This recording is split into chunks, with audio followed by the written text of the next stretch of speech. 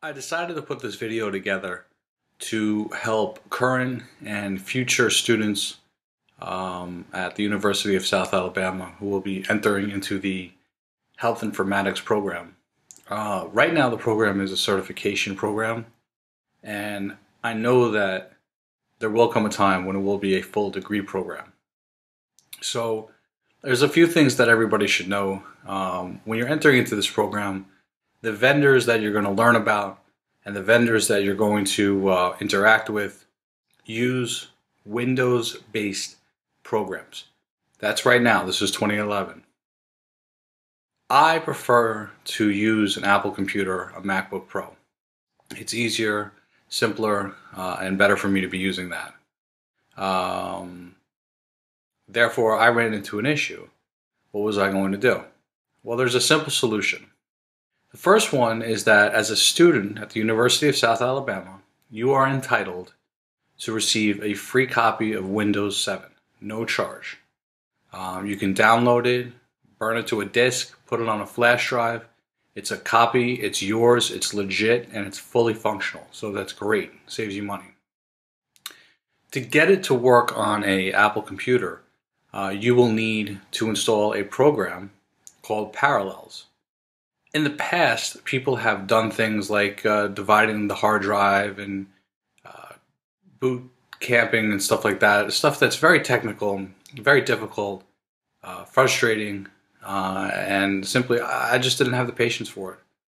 So the simple solution for me was an application, a program that is an application called Parallels.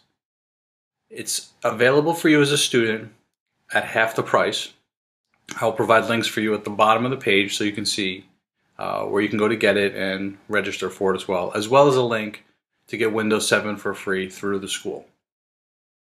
Parallel 7 behaves or makes Windows behave as if it was an ordinary application or program running inside of your computer, such as Microsoft Word, Twitter, anything you name it. It's simple, easy to install, and what it's doing is it's creating a virtual Windows 7. It's allowing you to use Windows 7 as a basically as an application.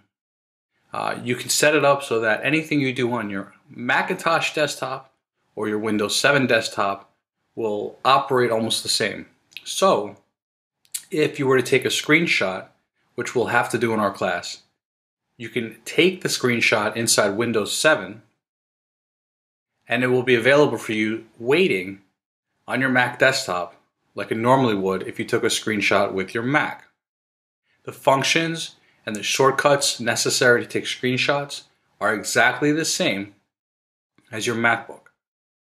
I will show you how to set it up so that the behavior between the two applications are seamless so you will notice nothing. You will simply open up the vendor application as if it was a simple Macintosh application. No stutters, no hiccups, no nothing. Now, the beautiful part about using Parallels is that you can have many virtual uh, desktops. You could even have a virtual Macintosh desktop. You can have Windows 8, which you can download now for free the developer version, or you can have multiple Windows 7 virtual machines. Why would someone do that? Windows, I don't like because what happens is things you can crash it it does it's not as simple to use as an apple product that's what i've discovered and that's what has made me want to leave windows completely so if i'm using a virtual Windows and I run into that issue, I can delete it, reinstall Windows 7, and simply start from scratch. It's beautiful. It's simple and easy to use. If I have something stored on the Windows 7 side that I don't want anybody to know about, I can delete it and it's gone forever, just like you would delete anything off of your Macintosh, any file or application all of it will be removed and you can start fresh. So what I'm going to do now is show you parallels and where you can go to download Windows 7 for free. I hope you find this uh, informative and helpful to current and future students of the Health Informatics program at the so University of South Alabama. This is the website you'll go to if you're a student at the University of South Alabama. It's the School of Computer and Information Sciences, their homepage. And when you get to their page, you'll go to the left-hand side. You'll see resources. And then underneath resources, you'll see a link, MSDNAA.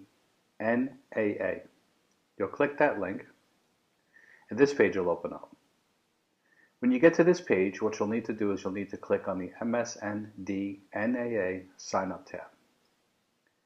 This will take you to this page where you'll enter your JAG number in the student number section, and you will enter your JAG email address. You'll have to submit a request for access into this website, MSDNAA. It takes about 24 hours, but once they receive your information, you'll receive a confirmation email with instructions and a link that will take you to the site where you can download your free copy of Windows 7. This is the website that you'll go to to download Parallels. What you'll want to do is you will want to go to the left-hand side where it says see what Parallel software offers.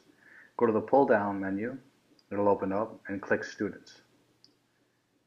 This is the student page, and as you can see, it's the exact same program, just offered at a student discount. You'll click on Buy Student Pack,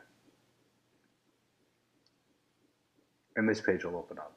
And here you'll see that you can purchase it for $39.99, which is in fact 50% off. So that's a pretty sweet deal. Now what I'm going to do is show you, once you finally have Parallels installed, which it installs just like any other, other application, very simple to do, and you've downloaded Windows 7, how you bring the two together and use them All right, so you've successfully installed Parallels, you've successfully downloaded Windows 7, and you're ready to make things happen. The first thing you're going to do is you're going to open Parallels, and this wizard will come up. You'll click Install Windows from DVD or image. You'll then hit Continue. And this screen right here, you can tell Parallels where the copy is. I have an ISO file already, so I'll just simply click here, choose an image file, and here it is waiting for me. Double click on it, hit continue. And this screen right here, you will put in your activation key that was emailed to you from the school. You'll put it in there carefully. For the purposes of this demonstration, I'm going to check this box right here. You can go ahead and install it but this way, but you will need to activate it uh, within a month, I believe. Click Continue. And this is the part that's important.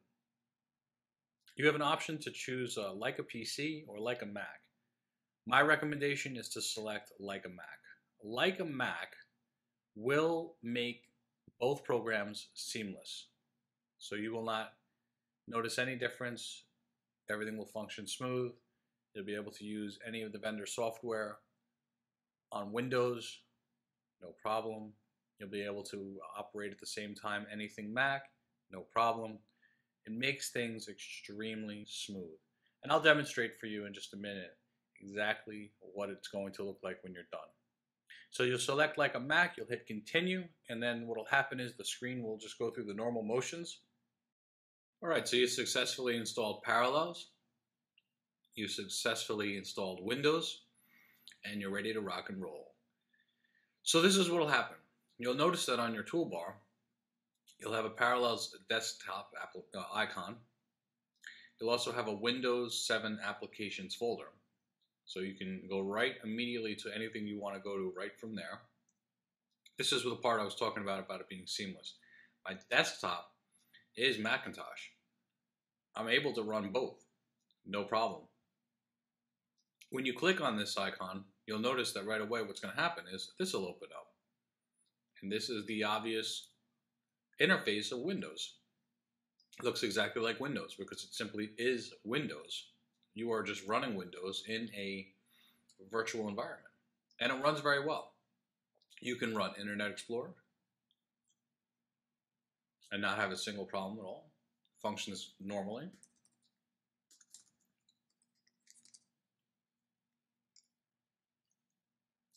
Loads nice and quick.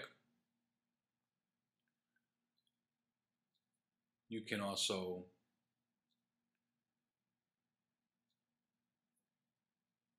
go straight from your desktop through that folder if you wish into CPSI and clearly run CPSI on a Macintosh, which is exactly what I'm doing right now. Up here, you'll notice you have two red bars as well. That's the parallels. Um, you can click it and you'll have some options like different views. I'm in coherence mode right now. You can exit it and have it right here as well. So again, you can see that this in fact is the icons that are on my uh, desktop with my Mac. I, I've had them hidden right now, but they are there. They're exactly the same. This stuff here is over here. And the interface of it is exactly like Windows. If you don't like the view like this, and you prefer the other one, you simply just click Enter Coherence. And you go right back into the way that you were before. So I hope that this has been very helpful to you, uh, current students and future students. If you have any questions about anything, please feel free to contact your uh, professor and they will help you out. Thank you very much and have a great day.